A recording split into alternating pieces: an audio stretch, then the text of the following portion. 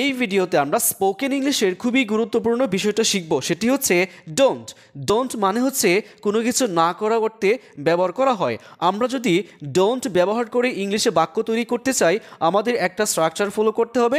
সেটি হচ্ছে don't plus বার্ফের বেস ফর্ম প্লাস অবজেক্ট চলুন প্র্যাকটিস করি। ডোন্ট টক ইন দ্য মক্স মসজিদের ভেতরে কথা বলো না। ডোন্ট ব্যাট উইথ হিম তার সাথে বাজি ধরো না।